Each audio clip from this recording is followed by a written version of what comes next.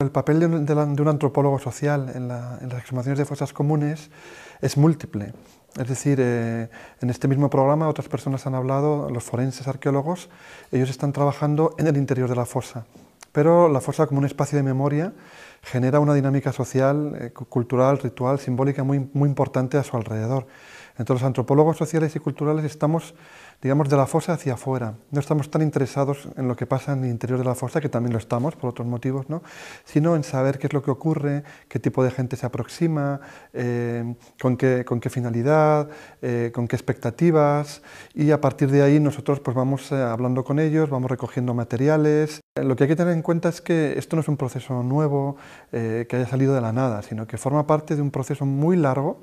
que empezó durante la propia guerra civil, con la recolocación de cuerpos que se pudo producir durante la guerra, y en los primeros años de la, de la posguerra hubo muchas exhumaciones que están todavía por sistematizar eh, la información que hay sobre ellas, algunas de gran calado, como las de eh, Soto de Aldovea o algunas en Barcelona, de muchísimos eh, cadáveres, otras más pequeñas en municipios, de fosas comunes, de personas que habían sido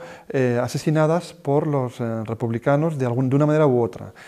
Eh, esas exhumaciones se llevaron a cabo durante bastantes años y estamos recopilando información fragmentaria sobre, sobre ellas. Y, por supuesto, fueron envueltas en, una, en una retórica política religiosa, nacional católica, de heroísmo y martirio, entonces estas esas fosas comunes, fueron eh, exhumadas, eh, muchos de estos cuerpos fueron eh, trasladados a cementerios, fueron homenajeados, fueron enterrados en, panteones, etcétera, etcétera. Mientras que las fosas, digamos, del bando republicano quedaban mm, en un silencio, en un olvido que poco a poco se fue acumulando, los años fueron pasando sobre ellas. Eh, eh, hay otro, otro, otro, momento muy importante de, exhumaciones que se produce en torno a la inauguración del Valle de los Caídos en 1959. Eh, hay un decreto, bueno, una orden, una, una, carta que sale em, del gobierno español pidiendo cadáveres para el Valle de los Caídos y durante un periodo muy largo, pero sobre todo en los años 59, 60, 63, llegaron a este, a este lugar, al Valle de los Caídos, llegaron por encima de los 33.000 cadáveres. Eh, es un movimiento muy, muy masivo de cuerpos 20 años después de la guerra. Por supuesto, el Valle de los Caídos es un lugar extraordinariamente complejo y ahí llegaron desde desde cementerios militares enteros hasta eh, eh, fosas comunes de campo de batalla o de, cementerios y también una cosa que se está empezando a saber ahora, fosas comunes republicanas que fueron exhumadas para ser trasladadas al Valle de los Caídos sin el permiso de las, eh, familias, por supuesto. ¿no?